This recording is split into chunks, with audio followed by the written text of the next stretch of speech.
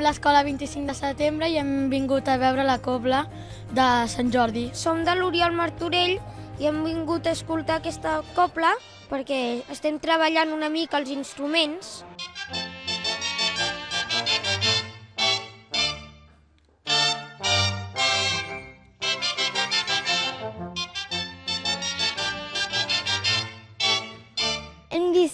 Instruments de la, de la copla que resulta que jo mai els havia vist i ha resultat molt interessant saber aquests, veure aquests instruments, com, com sonen, quins són més aguts, quins són més greus.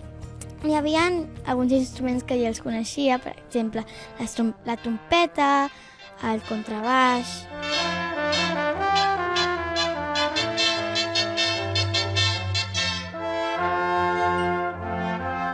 L'instrument que més m'ha agradat ha sigut el contrabaix perquè m'agraden els instruments greus. Jo toco la viola. És una mica més greu que un violí, però no tant com un contrabaix, és molt més agut que un contrabaix. Jo toco el piano i l'instrument que m'ha agradat més ha sigut la tenora, perquè té un so, no sé què m'agrada. Un instrument de ben fusta, bastant llarg, de doble canya.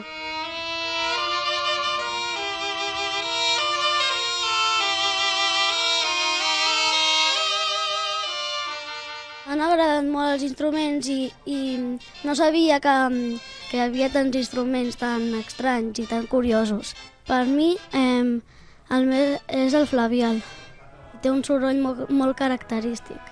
Hi havia una persona que ens explicava com van començar les coples i les músiques i ens explicava també coses sobre els instruments que toquen a la copla. i fan concerts, i en aquests concerts tant poden tocar temes de les sardanes per ballar o temes adaptacions, com temes que i avui en dia cada vegada n'hi ha més, eh, compositors escriuen especialment per aquesta formació, per la copla. He conegut instruments nous, com el tible, la tenora, el flaviol... Jo mai havia vist aquests instruments. És molt curiós perquè va, mm, van tocant dues coses a la vegada. Toquen el fablió i el tamborí.